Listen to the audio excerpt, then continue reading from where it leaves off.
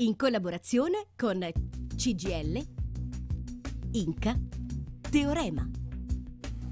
Buonasera, ben ritrovati al consueto appuntamento ormai del lunedì sera in diretta e stasera diamo il bentornato a Silvano Cavalletti e Viglian Zannoni che ci accompagneranno anche stasera attraverso i temi eh, che abbiamo deciso di esporre e che sono soprattutto legati eh, per quanto ci riguarda alle novità previdenziali contenute nella legge finanziaria, eh, diciamo che sono contenuti già ripresi dalla precedente finanziaria, quindi non ci sono delle novità in termini di tipologie, ma si sono aggiunte casistiche nuove, eh, ci sono alcuni punti che dovremmo mettere stasera in evidenza sui rinnovi pensioni 2018, William, perché sono arrivate tante richieste allo sportello di chiarimenti sui pagamenti di gennaio mm -hmm. e stasera ne approfitteremo per cercare di dar conto un pochino a tutte le situazioni eh, che come dire, si sono sviluppate, che riguardano i pensionati ante 2015, i pensionati dal 2016, perché la variazione al primo di gennaio ha subito in molti casi alcune situazioni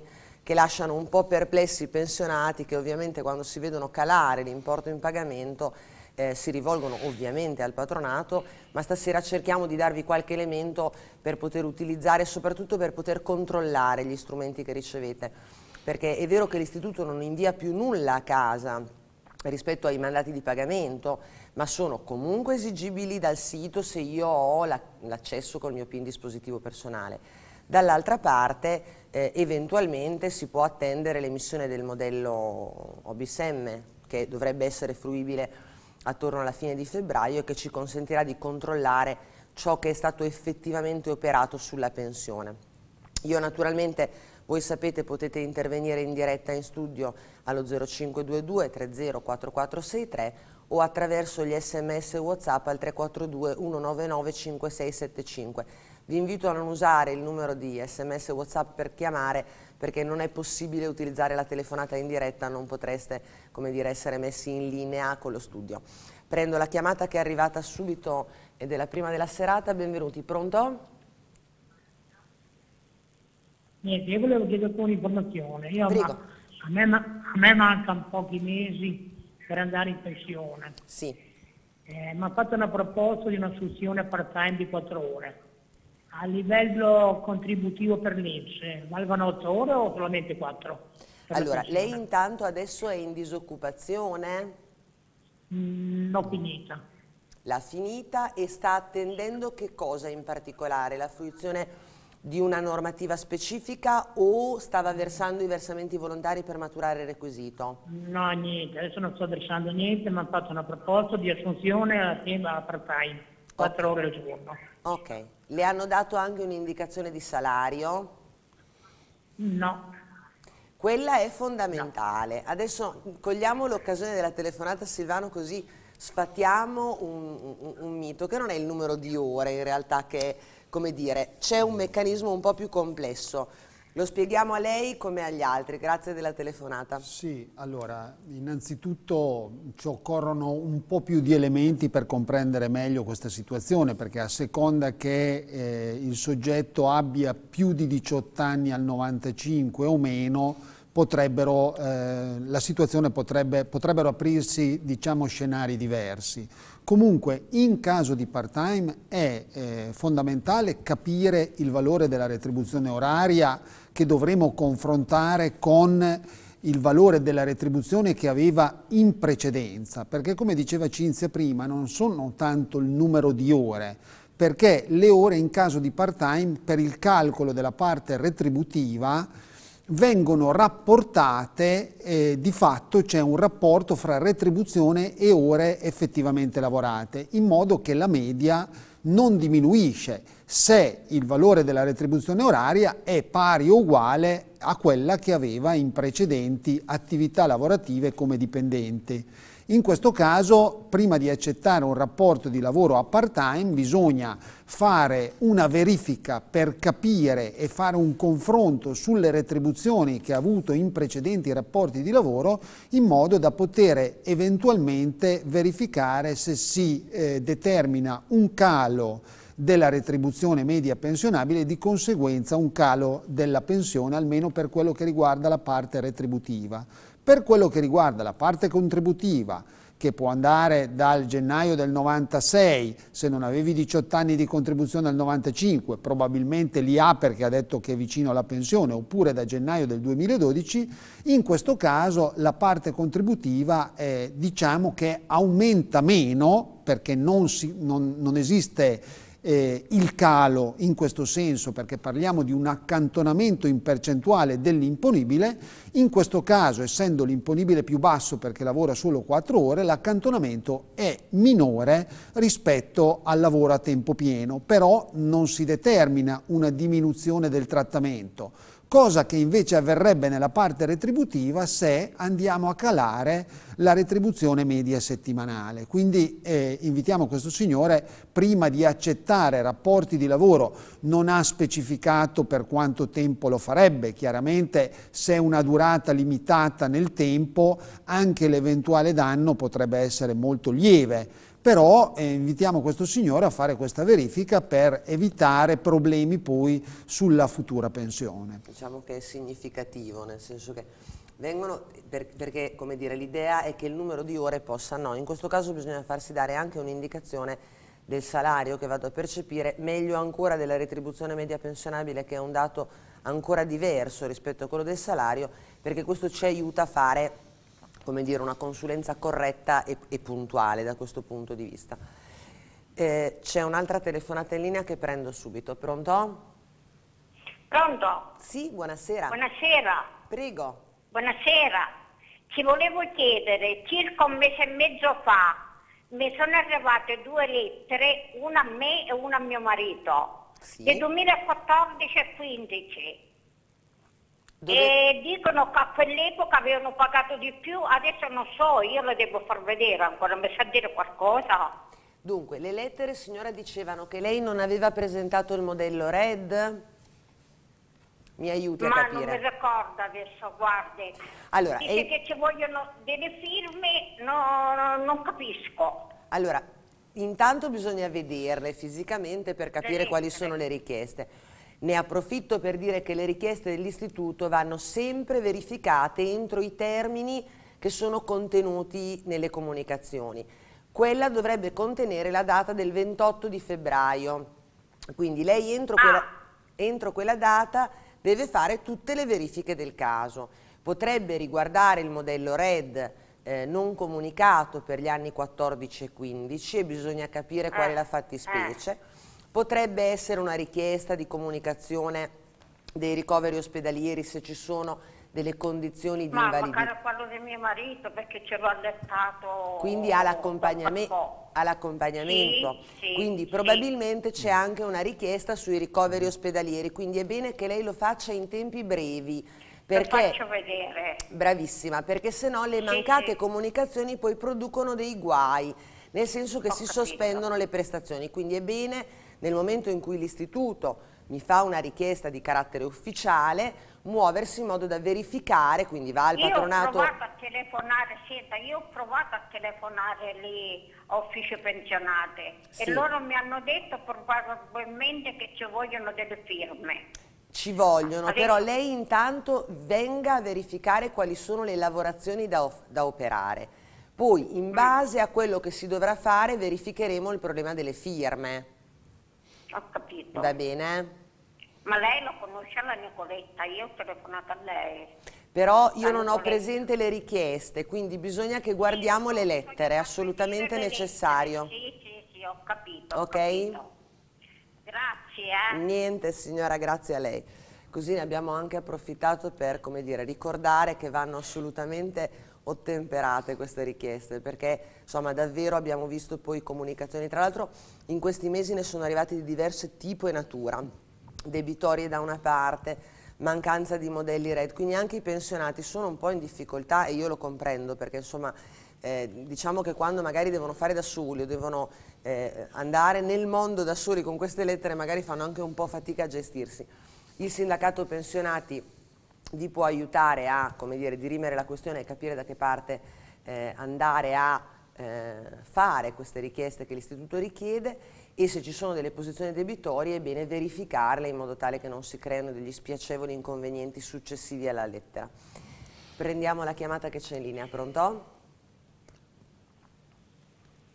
Pronto? Buonasera, niente, io... Pronto? Sente? Sì, adesso sì, buonasera. Allora, io sono in Naspi fino al 24 di gennaio. Sì. Dovrei andare in pensione in maggio con 42 anni e 10 mesi di contributi. Sì. Io ho avuto una proposta part-time. Sì riesco lo stesso accettando questa proposta di 4 ore al mese andare in pensione a maggio? Allora, o non bastano le 4 ore? No, non è questione che non bastano. Allora, se la telefonata fa riferimento alla prima della serata, Silvano ha dato un'indicazione precisa rispetto al salario. Allora, lei bisogna che venga con la proposta non tanto delle 4 ore, ma del salario che andrà a ricevere.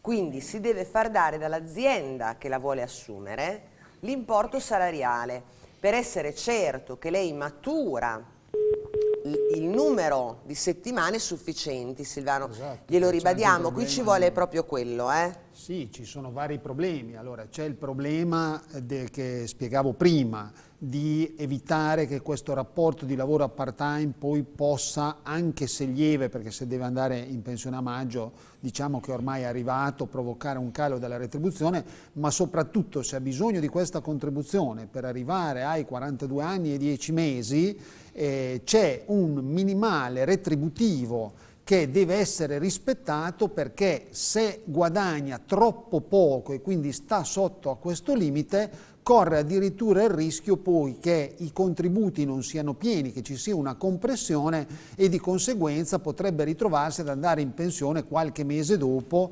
dovuto appunto al, al non rispetto del minimale. C'è anche questo aspetto qua, quindi eh, come le dicevamo è fondamentale capire quale retribuzione percepirà a seguito di questo part-time che le hanno offerto. Quindi la proposta con l'importo del salario. Questo ci serve per fare una valutazione attenta e per darle le risposte che lei eh, chiedeva.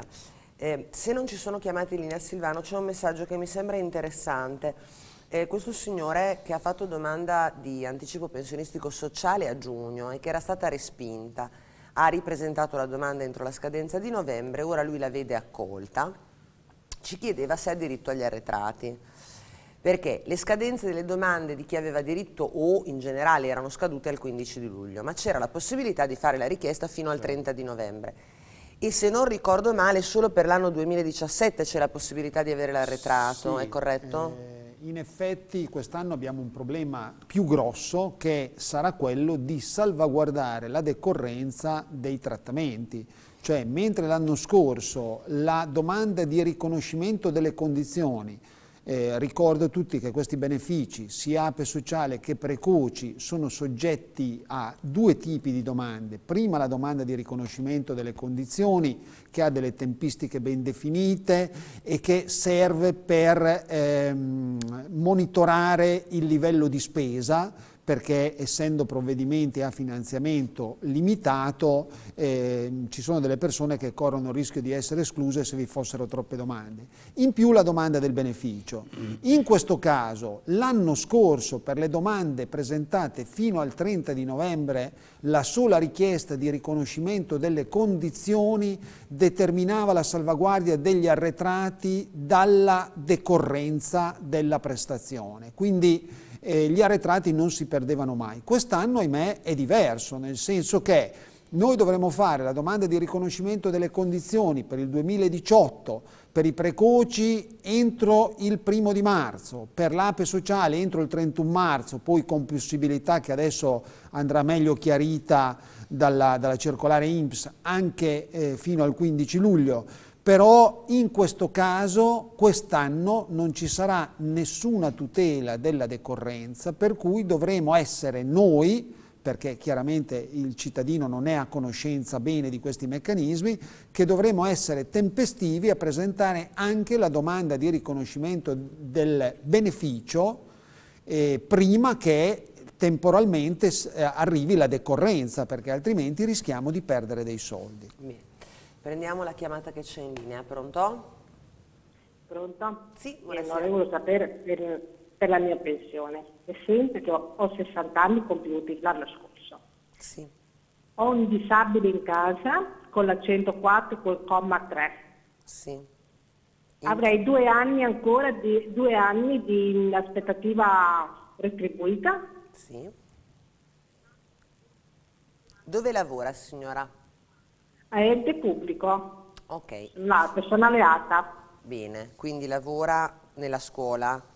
Sì, nella scuola. Perfetto. Le faccio un'altra domanda. Il familiare che ha la legge 104 è un familiare di primo grado, di secondo grado? Mio marito. Un coniuge. E ho 31 anni di contributi. Bravissima, mi mancava solo quell'elemento lì e poi direi che possiamo darle una risposta. Adesso io passo la parola a William che le dà un'indicazione generale, poi ovviamente eh, come dire, questa risposta televisiva non ha la pretesa, bisogna andare a verificare bene le È condizioni. figlio questo? Eh, no, è il coniuge. Ah, e figli Il ne ha? Non lo so, non gliel'abbiamo chiesto, Non è sfuggita. C'è ancora? No. No. Sì, sì, ci sono ancora. Brava, ha dei figli signora? Un'altra cosa volevo chiedere. No, no, aspetti, aspetti, sono curiosa io adesso. Ha dei figli? Sì, due. Due, bravissima. È una risposta che ci piace. Adesso le diciamo perché. Eh, faccia lei la sua domanda che dopo procediamo noi. E, ecco, un'altra ancora. Perché ho chiesto ai sindacati, mi hanno detto che dovrei fare una domanda all'Inps quest'anno e che si riferisce fa tre anni che io compirei il 63. Eh, adesso le spieghiamo come funziona il meccanismo. Adesso William le spiega bene. Se lei mette giù il telefono, si mette davanti al televisore, William le dà la risposta. Allora, eh, premesso che eh, per il personale della scuola purtroppo le indicazioni non sono così precise come per tutti gli altri lavoratori. Eh, se, c'è so- stato un soggetto un po' latitante in questa storia, c'è stato il MIUR, eh, il Ministero dell'Istruzione, Università e Ricerca, che ha emanato la circolare normale per le domande di dimissioni che di anno in anno vengono gestite, quest'anno addirittura anticipate a dicembre piuttosto che a gennaio, ma rispetto a tutte le novità che sono intervenute con la legge dell'anno scorso, la- la- l'APE, eccetera, eccetera, eh, non hanno ancora chiarito nulla. Nel suo caso però qui abbiamo un incastro di una serie di vicende. Allora, avendo 60 anni di età in questo momento, 2018, e avendo la prospettiva di fare due anni di congedo straordinario biennale appunto per l'assistenza del marito disabile eh, grave, eh, lei potrebbe fra due anni entrare potenzialmente nella condizione di diritto. Per quale motivo? Perché non a caso gli abbiamo chiesto quanti figli ha avuto. La novità della legge di bilancio di quest'anno è che per le donne che, in- che vanno in ape sociale, siccome servono una serie di requisiti per avere diritto alla eh, prestazione, ci sono anche dei benefici legati al numero dei figli.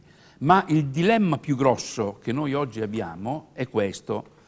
L'APE eh, sociale scade il 31 dicembre 2018. È stata una norma sperimentale introdotta l'anno scorso e scade il 31 dicembre 2018. In questo momento gli unici che hanno la certezza di entrare in questo percorso sono quelli che faranno i 63 anni appunto entro il 31 dicembre di quest'anno. Ci sono stanziate delle risorse, ci sono dei fondi creati apposta per la proroga dell'APE sociale anche nel 2019 e negli anni successivi, ma su questo non abbiamo nessun elemento di certezza. Quindi in questo momento a che lei continui a lavorare normalmente o che lei chieda il congedo straordinario biennale di fatto non cambia nulla, almeno fino a quando non abbiamo quel chiarimento rispetto alla possibilità di andare poi in ape social. Perché rimanendo suo marito convivente, handicap grave, avrebbe le condizioni appunto per entrare in questo percorso. Ma ribadisco, servono ovviamente eh, i requisiti contributivi e lei ce li ha, serve un'età e lei non ce l'ha e non la perfeziona, quindi per il momento purtroppo una risposta positiva non riusciamo a dargliela. Quindi non avrebbe neanche la possibilità di fare la richiesta a questo punto. No, in questo momento no, assolutamente. Verrebbe Quindi respinta. Deve attendere però l'anno prossimo o addirittura L'anno in cui compie Cioè dovremo capire se la proroga eventualmente prevista è solo per il 2019 oppure è- diventa sistematica. Ad esempio la pensione dei precoci è nata un po' sperimentalmente, ma di fatto è diventata a regime. Ce l'avremo anche fra due, tre, quattro anni, a meno che non la tolgano ovviamente. Certo. L'APE invece è soggetta a dei percorsi di rinnovo e in questo momento il rinnovo non c'è oltre il 31 dicembre di quest'anno. Quindi se volesse spendere il congedo straordinario lo potrebbe fare in, dire, sì. in costanza di assistenza alla cura del familiare, ma senza la garanzia che poi questo venga utilizzato in funzione esatto. dell'accesso a pensione. Ora restiamo alla finestra perché sono tutte situazioni, come diceva William, che sono in evoluzione e sono in monitoraggio perché qui si tratta di verifiche rispetto ai livelli di spesa, né più né meno. È evidente che però dall'altra parte quando devono fare delle scelte diventa perfino complicato. È che lo scenario successivo è la pensione di vecchiaia, non credo che ci siano delle ah. altre situazioni possibili. Quindi, Vista la sua anzianità, esatto, per forza deve rincorrere deve i 68 più o meno. Allora, noi abbiamo prima fatto un ragionamento sul rinnovi di pensione. Non ho visto se c'è una chiamata in linea, chiedo alla regia di confermarmi che non ci sia. Non c'è, perfetto. Abbiamo parlato dei rinnovi di pensione 2018. La criticità più grossa è stata nel fatto che i media hanno detto in modo piuttosto, come dire, a voce grossa, l'aumento ricomincia 2018 l'1,1, in realtà non si è accorto di nulla nessuno, quantomeno in gennaio e sarà così per molti anche in febbraio.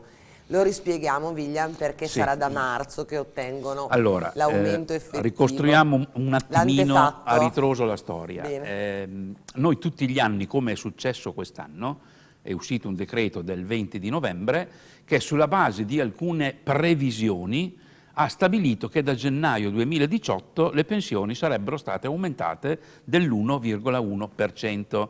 Ma a novembre, quando è stato fatto il decreto, non avevamo ancora i dati definitivi dell'aumento del costo della vita né di novembre né di dicembre, quindi sono stati stimati. Tant'è che si sta mormorando, lo sapremo domani perché domani esce il comunicato Istat eh, di fine anno eh, per quanto riguarda l'aumento costo vita, eh, che potrebbe addirittura essere l'1,2 piuttosto che l'1,1. Quindi quest'anno avremo degli aumenti che potrebbero essere poi conguagliati in positivo nel 2019. Vedremo, però... lo sapremo domani comunque. Bene, Quindi alle prossime puntate saremo okay. anche in grado di dare questa conferma. Perfetto. Torniamo indietro questo percorso nel 2015 o meglio fine 2014 quando esce il decreto e del 2015 quando è stato applicato.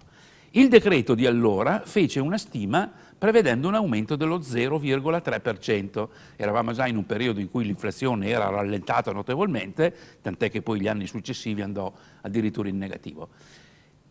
Una volta che si è arrivati a fine anno e a chiudere con i dati eh, certi, invece dello 0,3 risultò che era 0,2 ma nel frattempo l'Inps ha aumentato le pensioni dello 0,3 e quindi è venuto fuori che noi eravamo a debito per tutti i 13 mesi dell'anno di quello 0,1% di aumento in più che abbiamo avuto. In tutti gli altri casi, pochi in verità, in cui la stessa cosa si era verificata, cosa accadeva? A gennaio dell'anno successivo si faceva il recupero di quanto percepito in più l'anno precedente ma siccome nel 2016 e nel 2017 non c'è stato nessun aumento, anzi addirittura eravamo in negativo perché eravamo in deflazione, una norma disse ehm, rimandiamo questo conguaglio e lo rimandiamo al 2018. Ed è adesso? Quest'anno, siccome c'è l'aumento dell'1,1, dobbiamo recuperare quel debito. 0,1 per 13 mesi fa 1,3%, a, a, a botte di numeri così comprensibili. Quindi cosa ha deciso l'Inps nella circolare che ha fatto?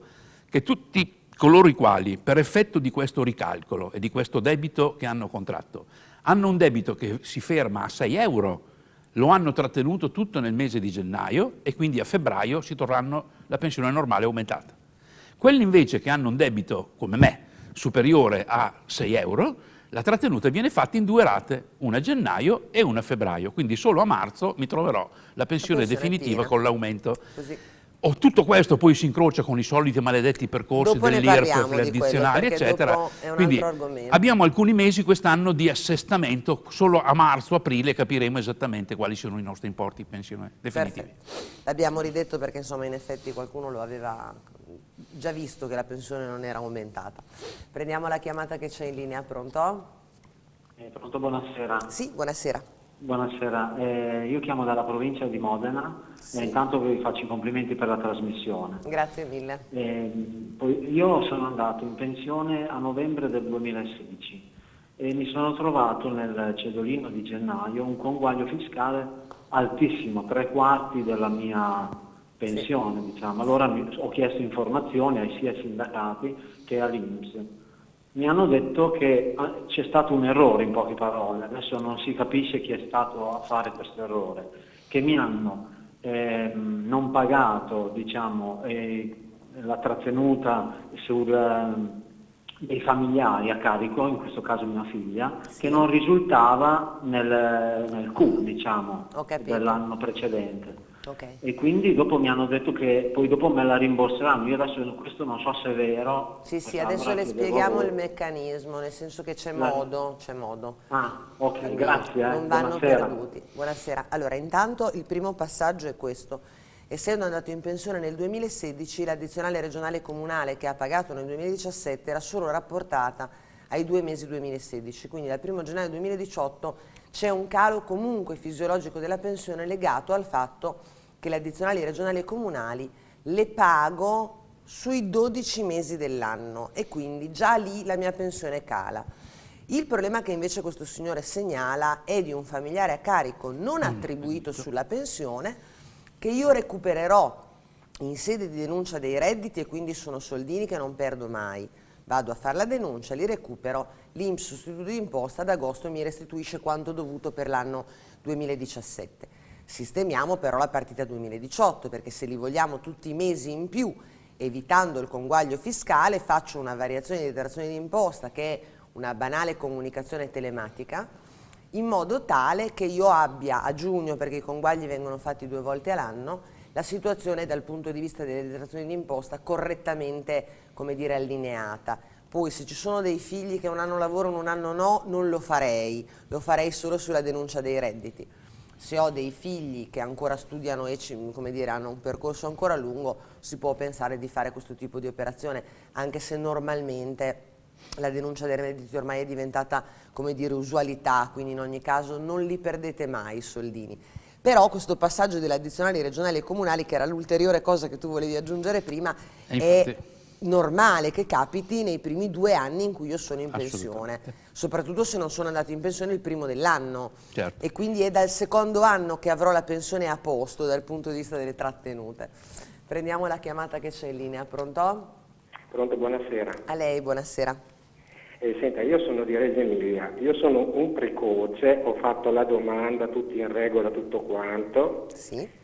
Eh, mi è arrivata la risposta dall'Inps che è stata accettata, però ehm, prima di avere la risposta ho fatto anche la domanda della pensione. Ok, ma lei è un cessato quindi? Sì, io eh, ho finito alla fine del 2014 perché l'azienda in pratica ci ha lasciato a casa in 20 tutti in un colpo. Ok, Così, poi dopo ho avuto gli ammortizzatori sociali, li ho finiti. perfetto. E non è che possa incidere il fattore che io ho fatto la domanda prima di avere il consenso dall'Inps. No, no, no. pensione. Allora, lei ha fatto contestualmente la domanda sia di accesso al beneficio che di pensione. Prima l'accesso al beneficio, poi dopo quella di pensione, sì. Però le ha fatte nel termine del 15 di luglio?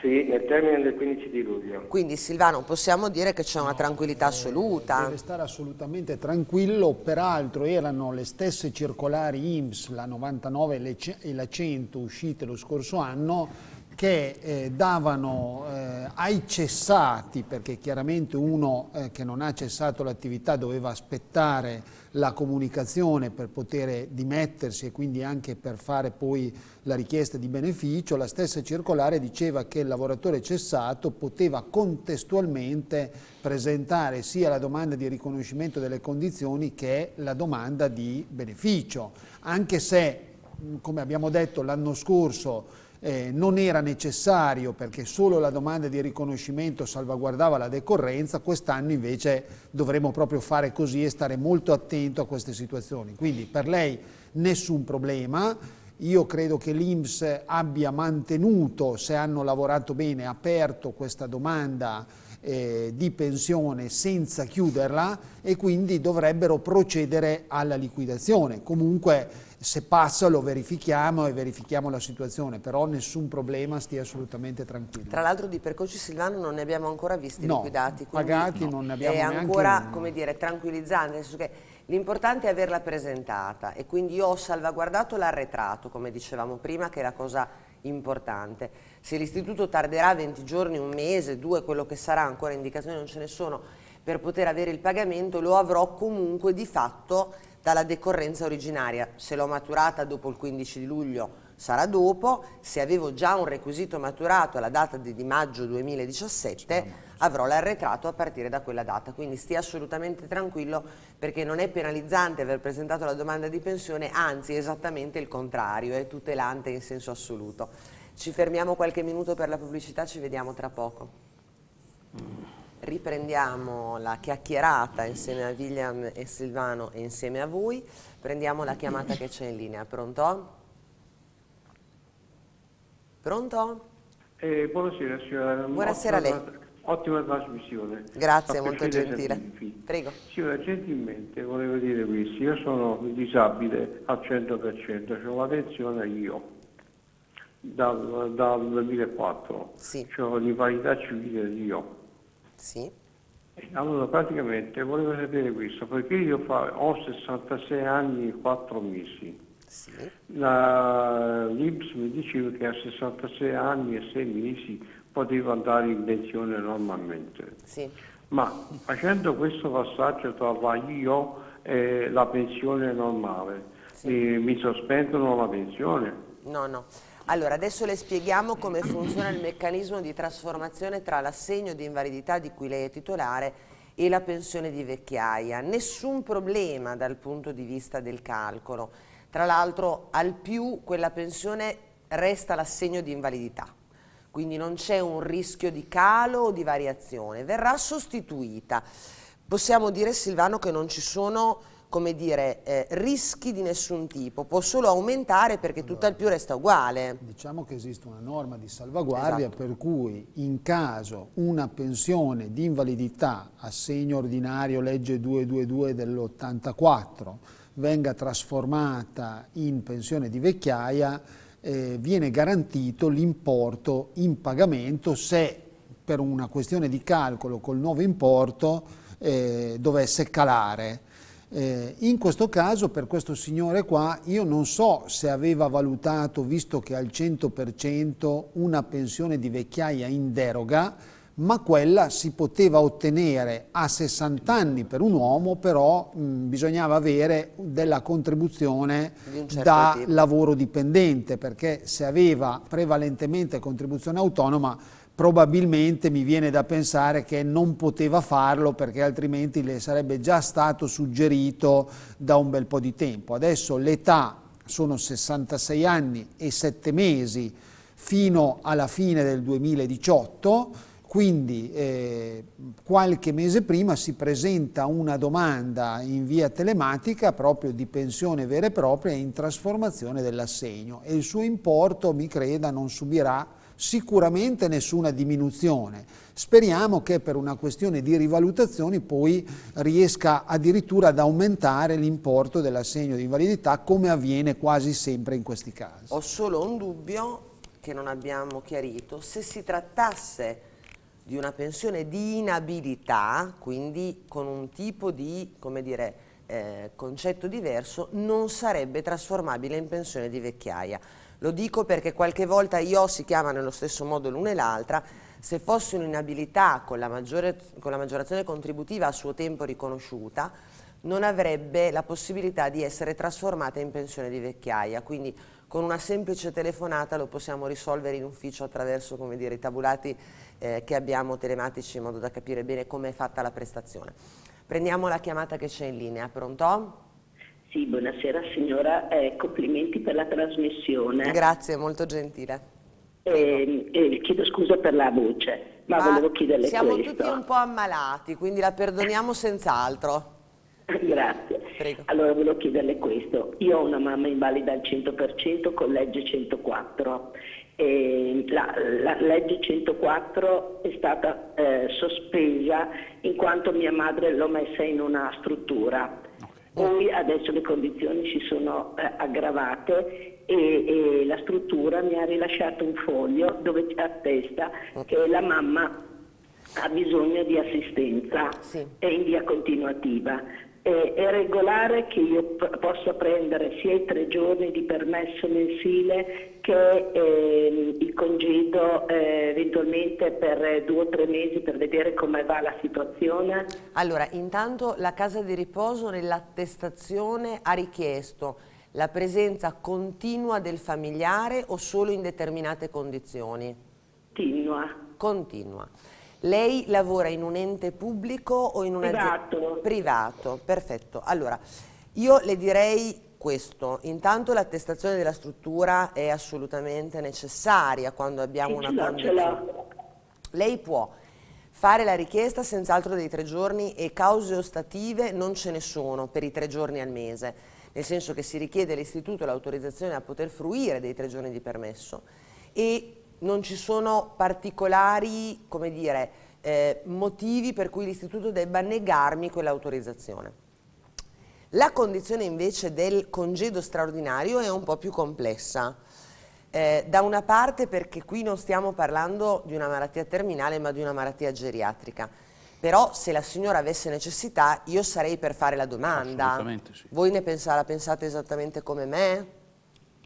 Ma. Sì, perché il concetto di ricovero. Assistenza. No, partiamo dal concetto di ricovero che in sé esclude sia il diritto alla 104 che sia il diritto giorni. al congedo esatto, è derogato è stata sospesa No, no, Esatto, infatti è corretto, esatto. No, quello no, che lei ha fatto così, è correttissimo. perché questo è il criterio eh, prevede una serie di eccezioni che sono state in qualche caso scritte nella legge in particolare ai fini del diritto al congedo straordinario o in altri casi nelle circolari per quanto riguarda la 104 Anzi, per il congedo dovremmo essere ancora più tranquilli, proprio perché è una disposizione di legge Dovrebbe. che prevede che nonostante uno sia malato terminale, in coma vigile o abbia bisogno appunto di un'assistenza continua, nonostante il ricovero io abbia il diritto. Ma lo stesso principio si estende anche alle 104, quindi direi che in entrambi i casi non dovremmo avere problemi. Io chiederei comunque l'autorizzazione. Assolutamente, cioè lei intanto può chiedere i tre giorni, come dire, per eh, sistemare la faccenda e fare anche la richiesta eh, del congedo straordinario per un periodo che deciderà lei quale sia, un mese, settimane, quello lo può fruire come dire, in, in tempistiche che decide lei. L'unica attenzione che va colta è quella dell'anticipo al datore di lavoro eh, che va concordato in un qualche caso, laddove il datore di lavoro non volesse il preavviso di legge, perché se no il preavviso di legge previsto è di 60 giorni, per cui se l'azienda lo volesse tutto dovremmo un attimo dire, cercare di capire come svilupparlo. Eh, C'è un ulteriore problema che è quello della firma dell'invalido e quindi vedremo come risolverla. Eh, se la signora è ancora in grado di firmare, bene, perché ci vuole comunque il foglio firmato dall'invalido. Eh, la signora... No, eh, no, la signora non può firmare perché non è in grado di, eh, di, di fare questa... è una demenza senile molto grave. E quindi bisognerà capire come risolverlo, per cui lei quando verrà allo sportello cercheremo di capire come gestire la modulistica, perché la firma dell'invalido è un passaggio necessario. Se O la la signora... Prego? O la procura. Perfetto, allora lei ha già risolto il problema perché la procura la fa uscire da tutte le altre incombenze. Infatti stavo dicendo a meno che non ci sia un'amministrazione di sostegno o un atto di tutela come nel suo caso. Quindi lei è a posto, con la copia della procura può venire a fare le entrambe due le richieste, le struttureremo in base alle sue esigenze, si fa la richiesta all'Inps, ma io come diceva Viglia mi sentirei proprio molto tranquilla. Eh, L'unico dubbio che mi viene sul congedo straordinario è eh, la verifica di ciò che ha scritto la casa protetta, perché l'Inps Sì. è puntiglioso da questo punto di vista, però eh, direi che ci sono tutti gli elementi per poterlo fare.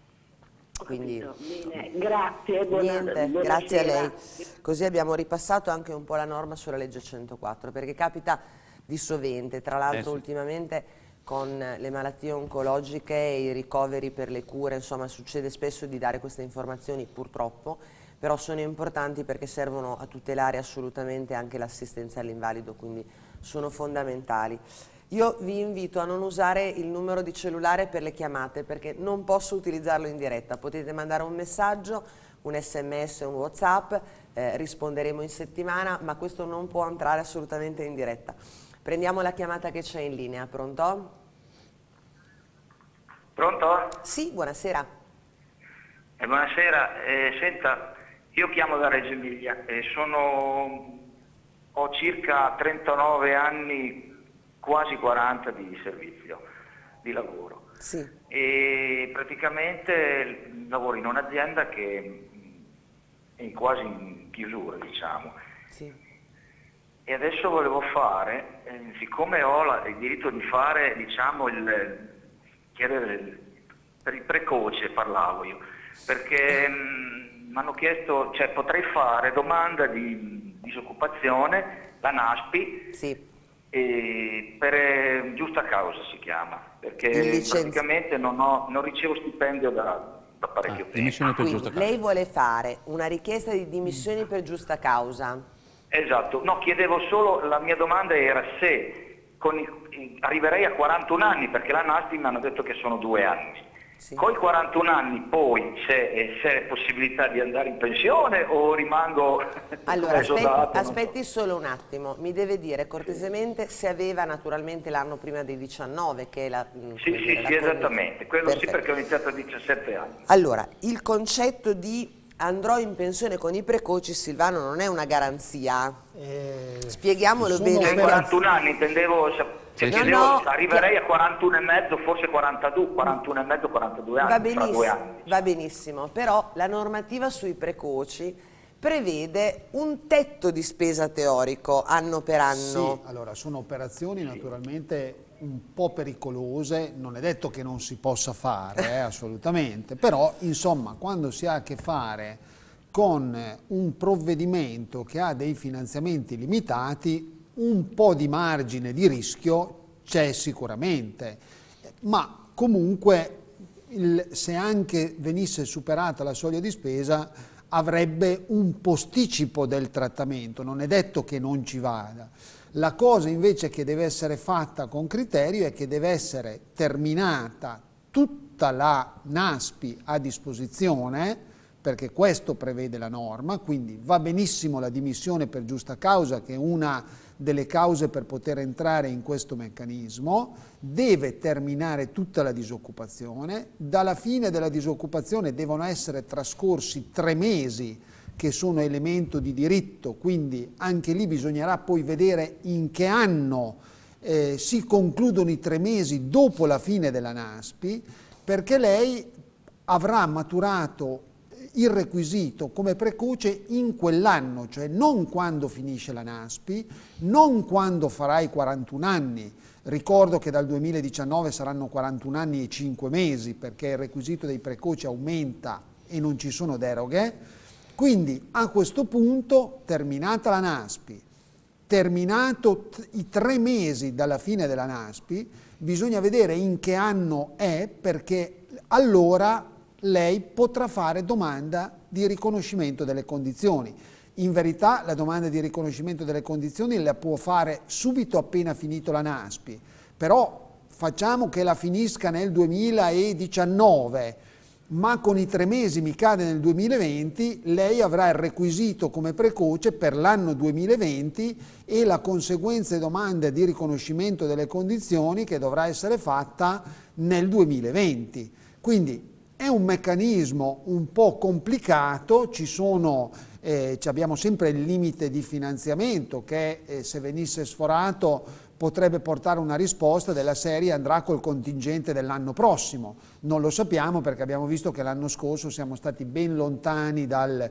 Quindi con tutti i dubbi del caso però è un'operazione, specialmente se c'è una situazione dove lei mantiene un rapporto di lavoro ma non viene pagato, quindi è una situazione che può essere presa in considerazione. Assolutamente sì, poi mi viene da dire, se strumentalmente volessimo costruirla, ma mi viene da dirla così, sarebbe il caso di farla subito, perché in questo modo io potrei presentare la domanda entro la scadenza, perché avrei Vabbè, prima parte, finito l'ammortizzatore sociale, esatto. ma sarei entro la scadenza naturale delle domande che si fanno entro la, il trimestre dell'anno. Quindi insomma, tutto sommato si potrebbe fare qualcosina, però come Silvano diceva la garanzia che i 41 o i 41 indicizzati, eh, quello che saranno, eh, bisogna dire, però costruirla bene con la posizione alla mano per non rimanere dire, in mezzo alla porta con i contributi, col fatto che ci sono gli aumenti di speranza di vita eh, con cui dal 2019 dovremo fare i conti anche con i 41 anni,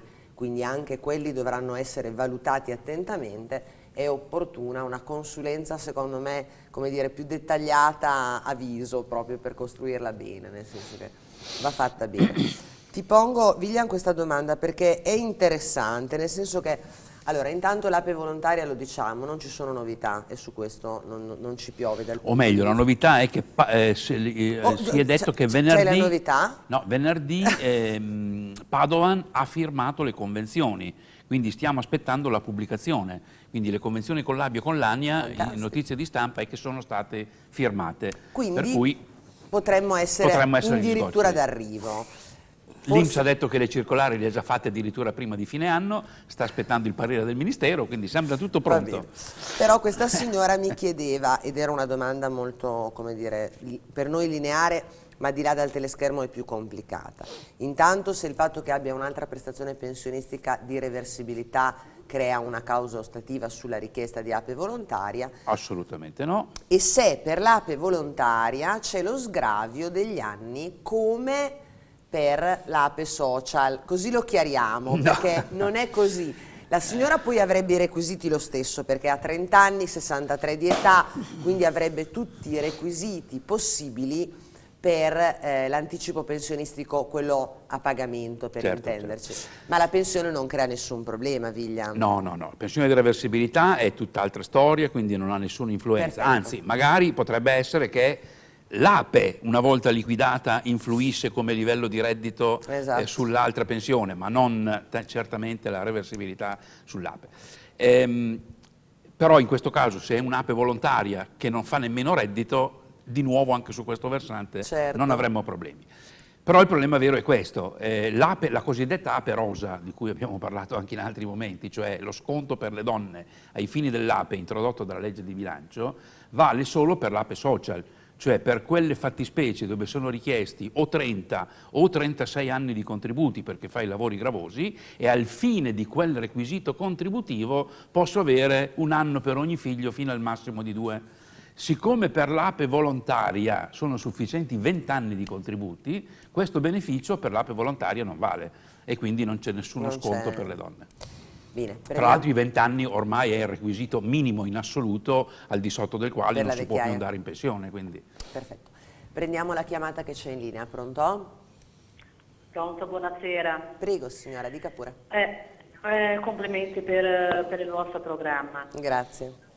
Io ho ricevuto la lettera dell'Inps, eh, la busta arancione. Sì. Dove risulta che eh, andrà, io ho 57 anni, Risulta che andrò in pensione a luglio di 2033. Sì.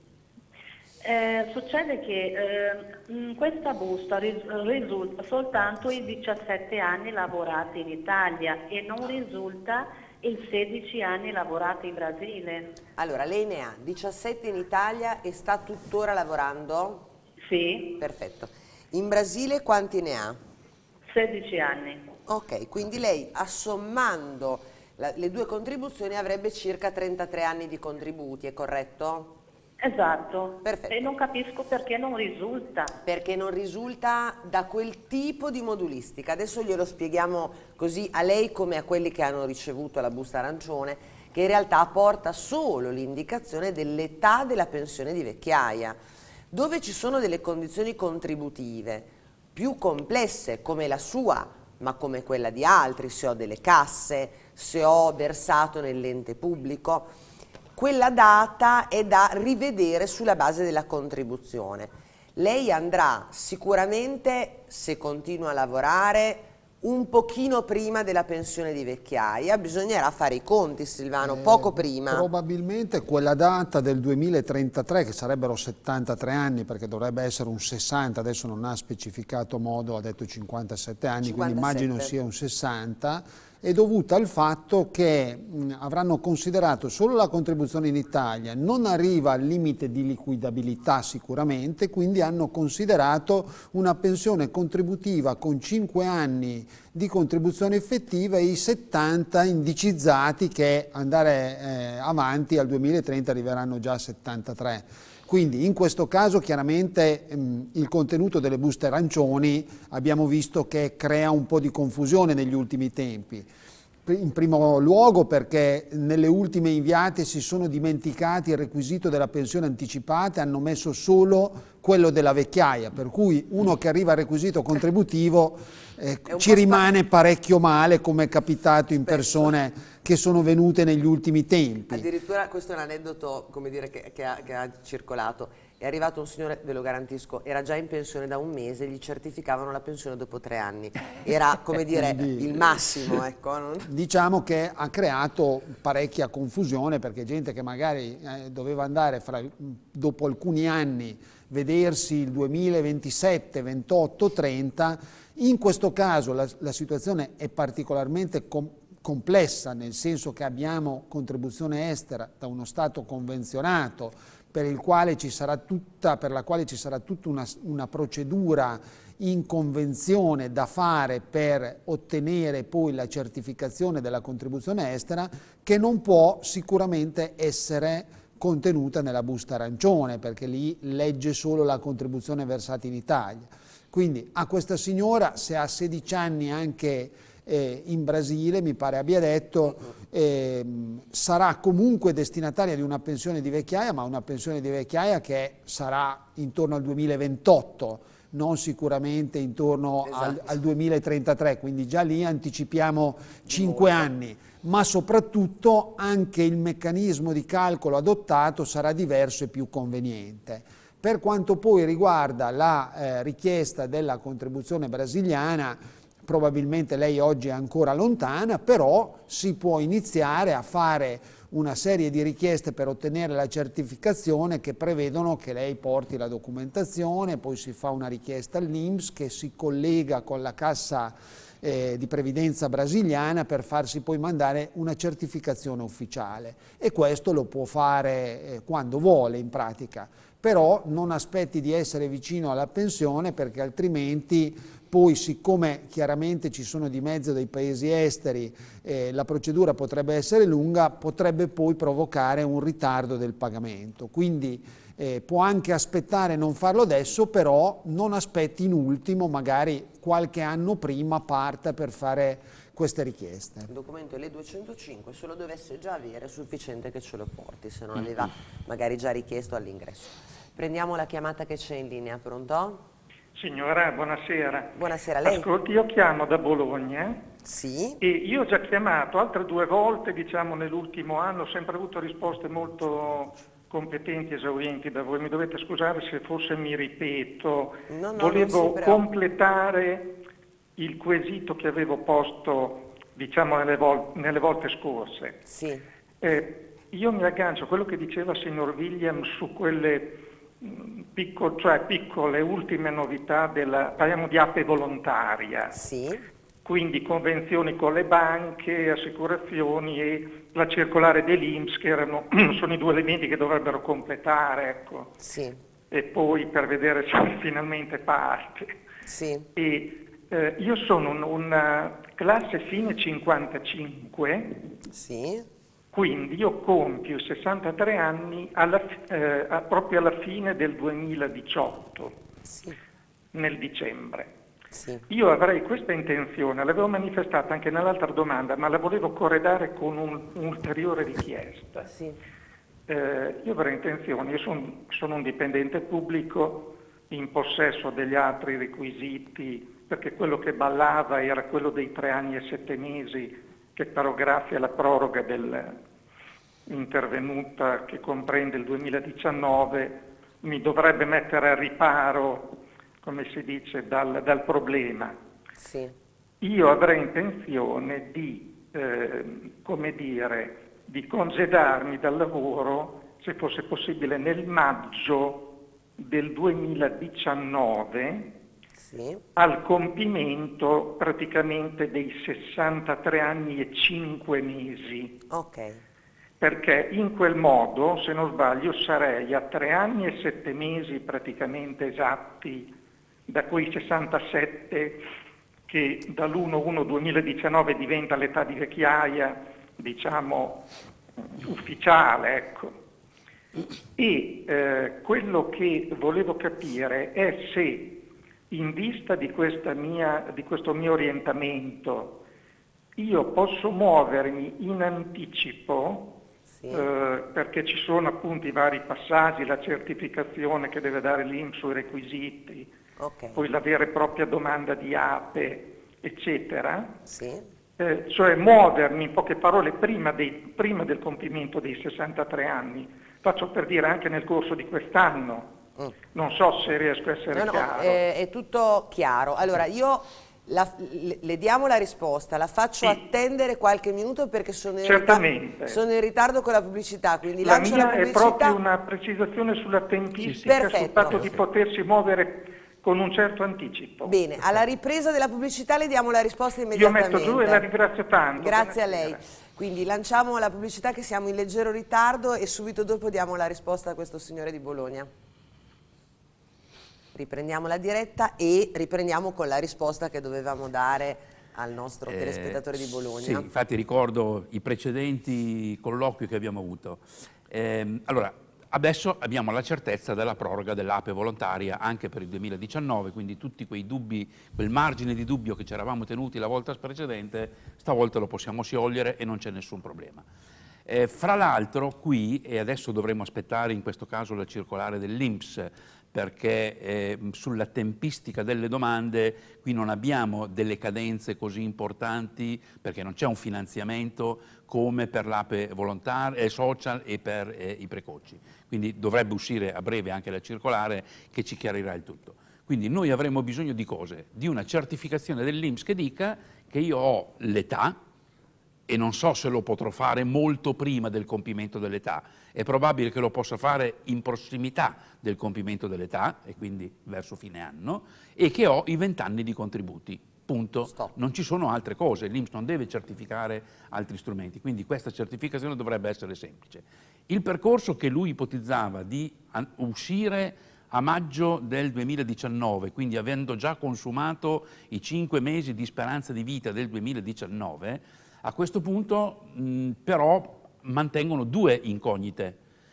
Eh, quando farà la domanda di APE eh, volontaria eh, dovrà sottoscrivere nel contratto che stipulerà con la banca la richiesta di finanziamento o meno dell'eventuale percorso di allungamento col quale lui dovrà fare i conti, perché i cinque mesi nel 2019 sono certi, nelle previsioni abbiamo anche nel 2021 altri tre mesi e nel 2023 un altro mese, per cui potrebbe ballare tre o quattro mesi in più di durata del finanziamento. Io potrei decidere di accontentarmi da maggio all'età, punto, oppure di chiedere anche la copertura degli eventuali allungamenti che arriveranno dopo. Ma questo lo, lo metteremo a fuoco appunto dopo la circolare. Dopo la circolare avremo la, il punto delle procedure. Direi che però su quel percorso grossi problemi non dovremmo averne di nessun tipo. No, anche perché insomma adesso non abbiamo ancora degli elementi, perché è vero che l'Inps dice che le circolari sono pronte ma non le ha viste nessuno, quindi fino a che non le leggeremo nelle modalità non sarà dire, possibile fare queste valutazioni attente e qui c'è proprio da fare una valutazione molto attenta.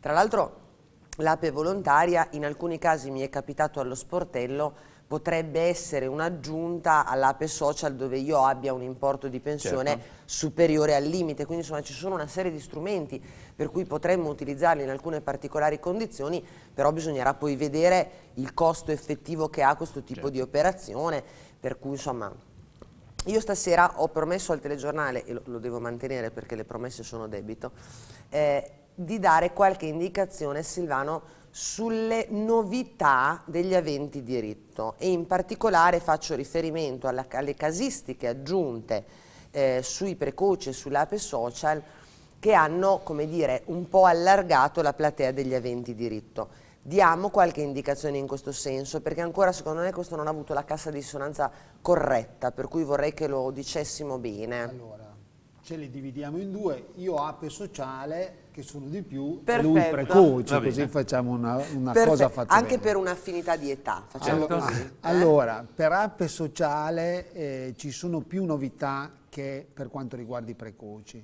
Le novità riguardano eh, la casistica dei disoccupati, eh, hanno eh, aperto, cosa che non è stata fatta per i precoci, hanno aperto a coloro che cessano il rapporto di lavoro per scadenza di contratto a termine. Sappiamo bene che le cause della perdita del lavoro nella precedente legge eh, prevedevano per l'APE sociale licenziamento, dimissioni per giusta causa, risoluzione consensuale a seguito di intimazione di licenziamento e quant'altro. Erano rimasti tagliati fuori coloro che avevano il contratto a termine che scadeva, quindi hanno aperto eh, anche a coloro che vanno in NASPI per scadenza del contratto a termine, però introducendo un requisito contributivo. Alla scadenza del contratto il soggetto deve aver lavorato per 18 mesi nei 36 mesi precedenti. Quindi diciamo hanno in- introdotto questo requisito eh, la- di periodo lavorato per evitare che possa entrare nel meccanismo coloro che hanno un contratto a termine particolarmente breve che magari in precedenza non avevano lavorato. E questa è la prima apertura. Seconda apertura eh, per coloro che assistono un familiare portatore di handicap. Era un parente di primo grado o il coniuge convivente, ora con la eh, legge di bilancio, con la legge 205, si arriva a parenti di secondo grado e affini, che sono i parenti in linea del coniuge, a patto che i genitori e il coniuge dell'invalido abbiano compiuto i 70 anni oppure siano deceduti o mancanti. E questa ehm, apre, amplia di un bel po' la casistica di coloro che prestano assistenza. Non è cambiato nulla per chi ha un'invalidità personale, perché lì deve avere sempre almeno il 74% di invalidità civile.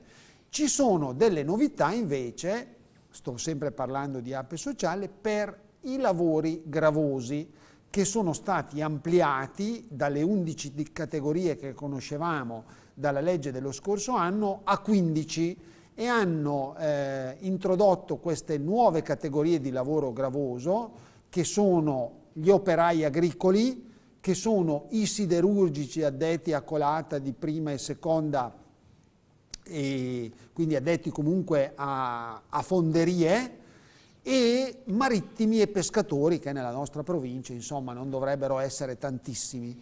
Quindi queste nuove 15 categorie di eh, lavoro gravoso, compreso anche che, queste quattro nuove, che hanno un requisito modificato perché prima bisognava aver svolto attività di lavoro gravoso per sei anni negli ultimi sette. Adesso hanno introdotto un ulteriore requisito, sei negli ultimi sette oppure sette negli ultimi dieci, in modo che coloro che hanno avuto periodi di interruzione possano comunque rientrare nella norma.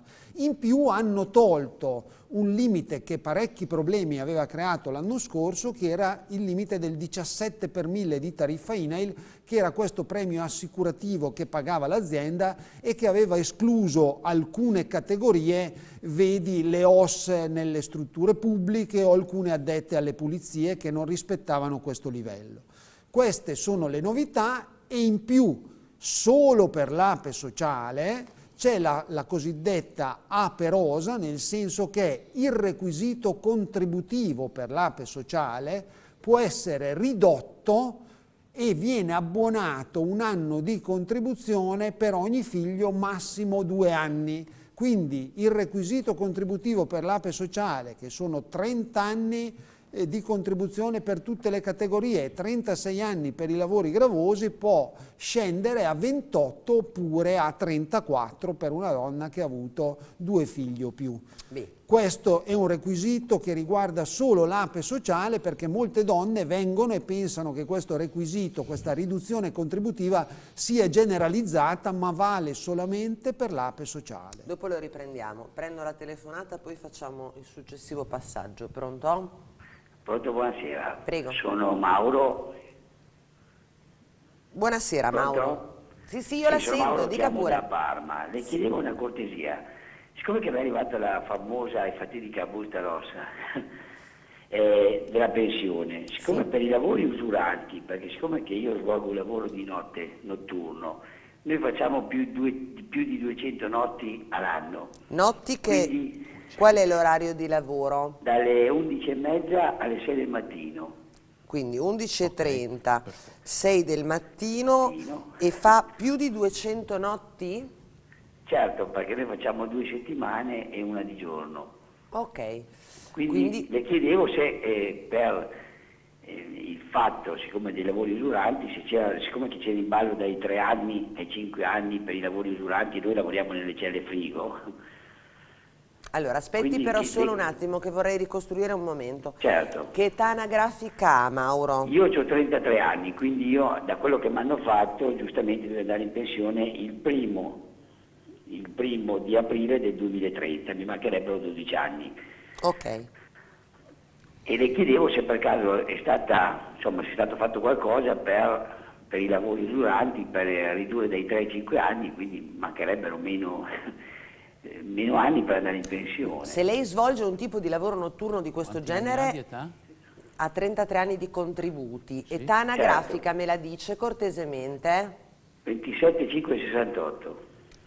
Quindi è molto giovane questo signore. Lo dico perché siamo più o meno cotanei, quindi devo tenermi un po' su. È molto giovane secondo me.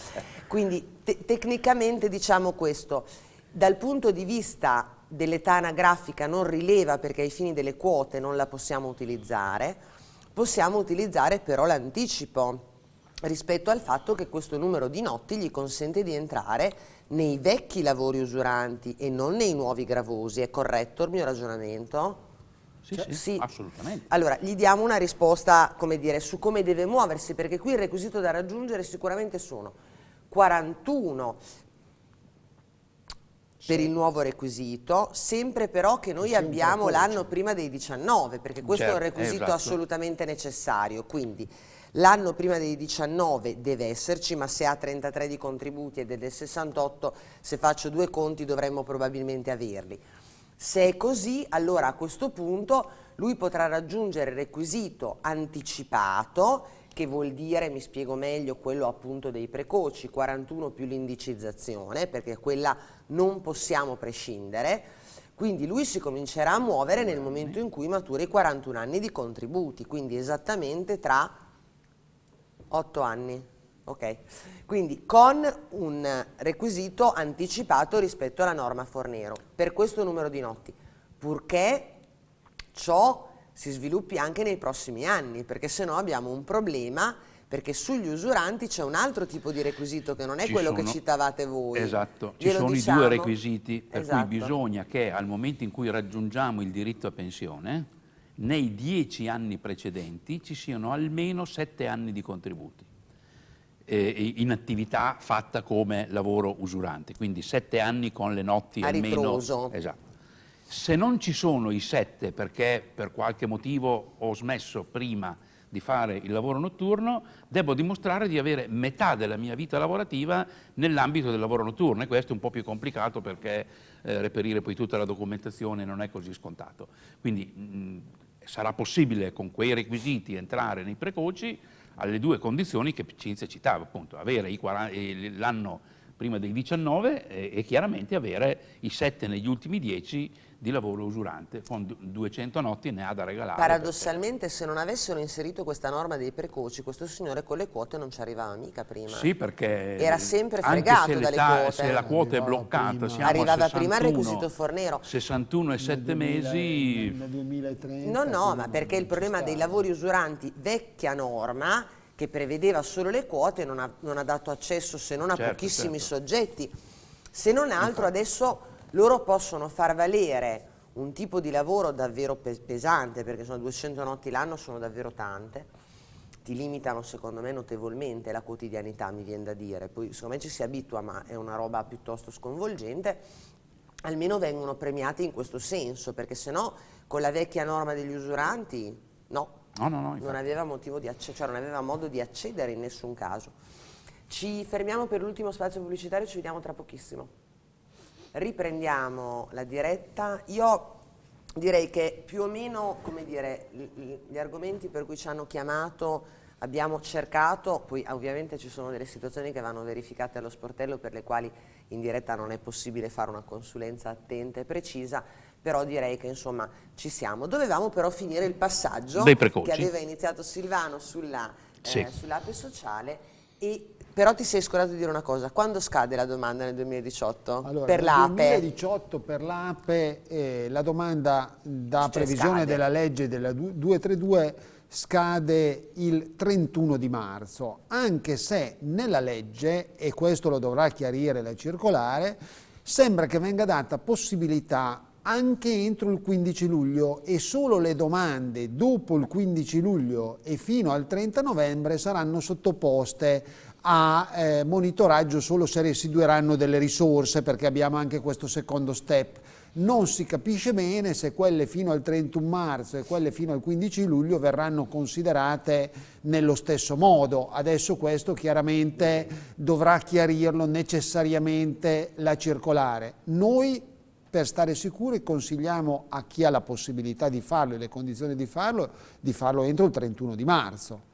Poi vedremo eh, di chiarire, speriamo che la circolare chiarisca meglio questo punto. Anche perché qualcuno non potrà perché non ha l'ammortizzatore Esatto, sociale quindi- finito, quindi vedremo, o la Certo. convivenza da più di Oppure esatto, le altre cose. Invece il passaggio sui precoci, Viglian, la cui domanda invece, perché così Allora, ci in questo complichiamo la caso vita. rimane, tanto per complicarci la vita esatto, delle scadenze, perché è più facile così. primo marzo 2018 per coloro che eh, entrano nel primo step, eh, 30 novembre 2018 per il secondo percorso con la stessa logica che prima di Io una proposta però che, che l'operatore di patronato diventi un lavoro gravoso la farei, eh, un po' perché con questi percorsi è abbastanza complicato perché quando ci mollerà poi... No, diventa... Beh, eh, però è un insomma caos, cerchiamo è un di darvi il massimo È della un tutela puzzle possibile. difficilmente componibile Esatto. proprio perché ci sono tante di quelle variazioni.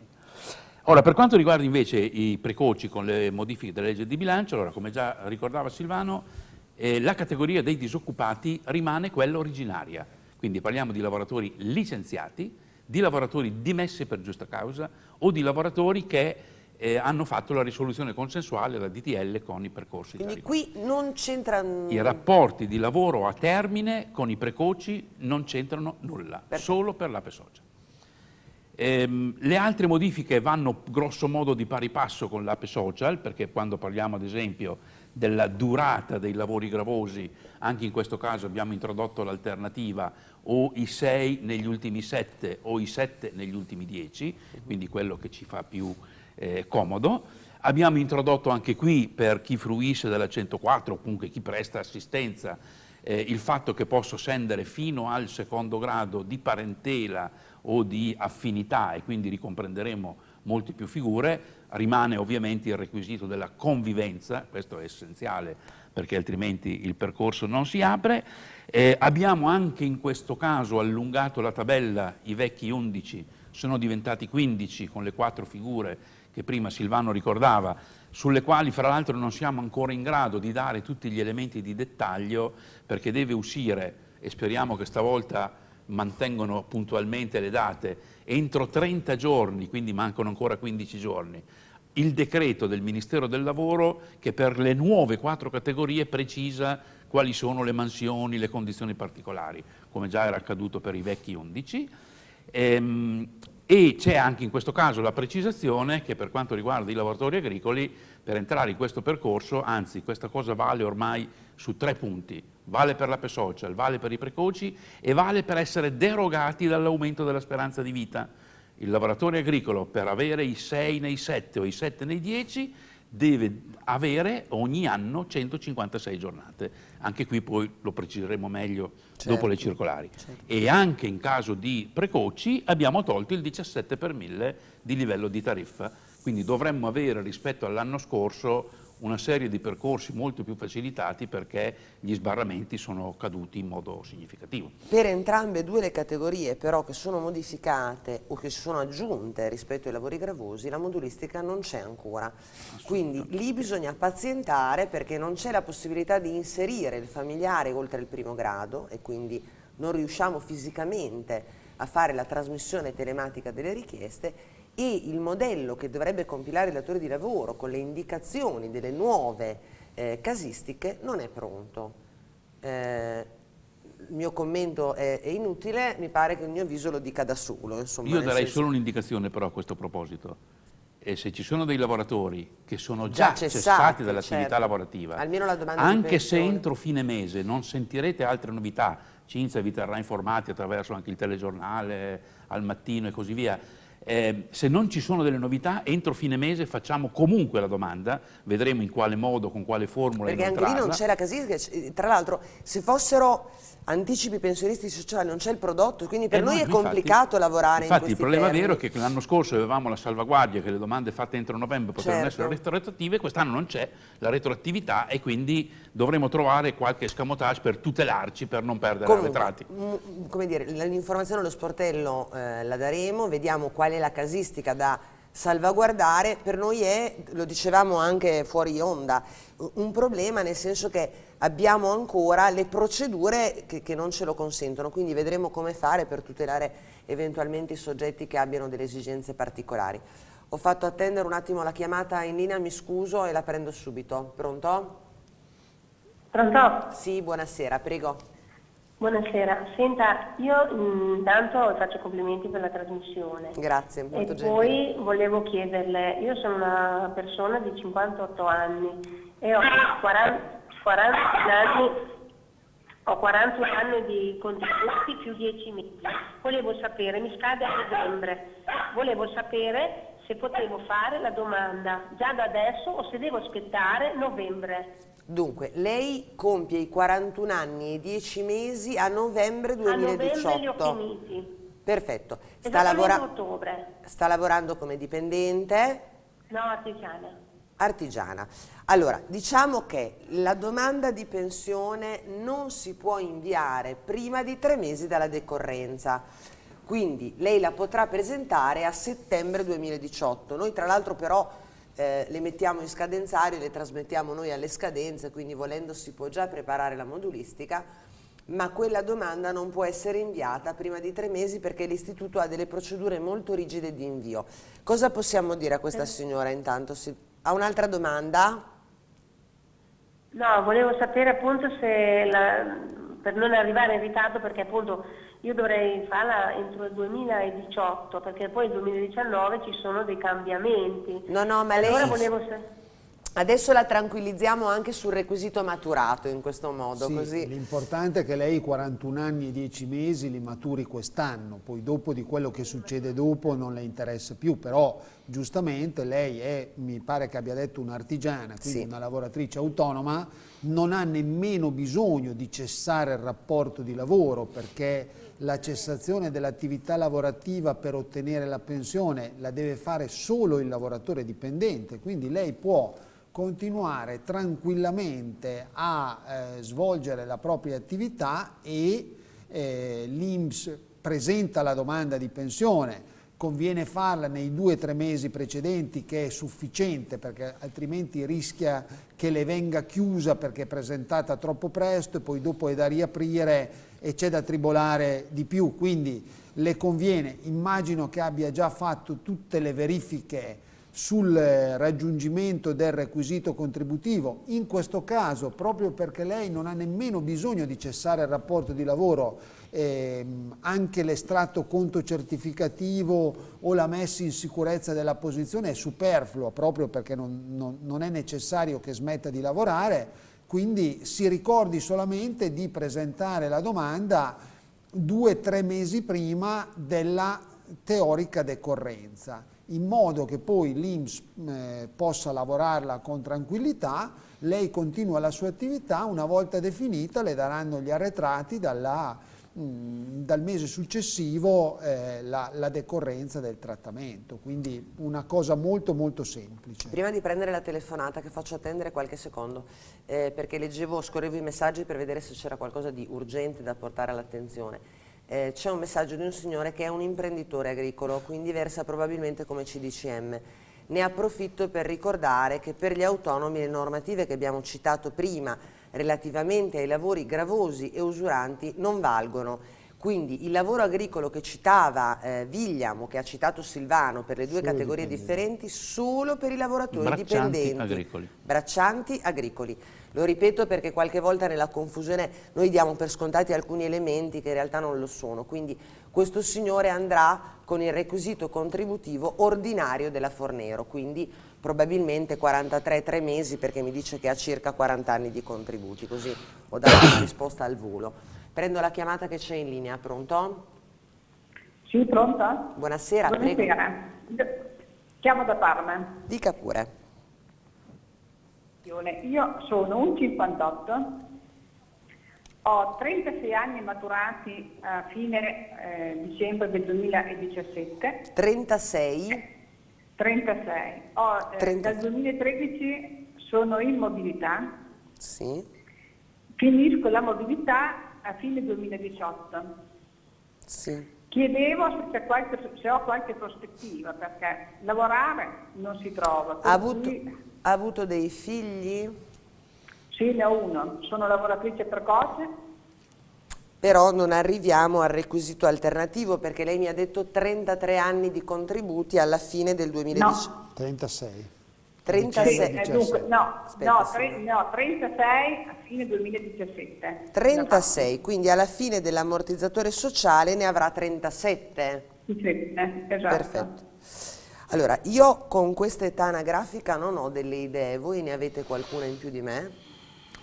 Vabbè, è abbastanza lontana, cioè nel eh. senso che eh, è chiaro che se una volta terminata la, la mobilità, che è chiaramente stata allungata con dei contratti a termine, immagino, perché se è stata messa in mobilità nel 2013 sì. e la finisce nel 2018, l'avrà sospesa per ehm, avere poi svolto dei contratti a tempo determinato, immagino. Mm. Comunque, in questo caso... Posso dire solo una cosa, è del 58 però. Nel 58 compie 63 anni nel 2021, potrebbe accedere all'ape sociale, ma non abbiamo certezza che sarà reso strutturale, no, lo speriamo. Ho sbagliato pensando però... che sia tutto del lavoro dipendente aveva i 57 nel 2015? Eh, se non aveva probabilmente i 35 anni nel 2015 no, no, perché se bene. ne ha fatti 36 eh. a dicembre 2017 eh. anche le quote rosa sono precluse che Bisogna era quello vedere a cui 2015, pensava sì, io pensavo a quello pensavo ai Cinzia. 35 al 2015 pensavo a quello oppure potrebbe anche se come precoce poi una donna anticipa solo 10 mesi quindi sì. io credo che la soluzione per lei sia eh, valutare eventualmente la prosecuzione volontaria perché se non lo fa, ahimè, eh, lo scoglio sono dopo la vecchiaia e andiamo a finire nel 2026 più o meno, sono 67 e 5-8 mesi, adesso vedremo modo mm. con la speranza di vita. Quindi sicuramente lei, terminata la mobilità, dovrà valutare se ci sono le condizioni per un, una prosecuzione volontaria del versamento contributivo, perché altrimenti rimane bloccata a 37 anni e, e deve solo aspettare la pensione di vecchiaia. Poi si vedrà in corso d'opera se ci saranno degli appigli, però insomma è abbastanza distante da qualsiasi Io diritto. farei una valutazione attenta in questo senso della posizione per vedere che non ci siano degli scenari altri rispetto a ciò che ci siamo detti. Il tempo è volato come sempre, voi avete ringraziato noi dall'altra parte, ma siamo noi che dobbiamo ringraziare voi per l'attenzione e come dire, per la partecipazione che ci date tutti i lunedì sera, quindi un ringraziamento mio personale va di là dal teleschermo. Io ringrazio Silvano e Viglian che ci ritroveremo nelle prossime settimane con le solite chiacchierate. Eh, ringrazio Antonella Vacondio che era in segreteria stasera a rispondere alle telefonate e Paolo Ronzoni in regia. Vi do l'appuntamento a lunedì prossimo alle 21, sempre in diretta, sempre qui su Telereggio. Buona serata a tutti. Buonasera. I diritti in diretta, in collaborazione con CGL, Inca, Teorema.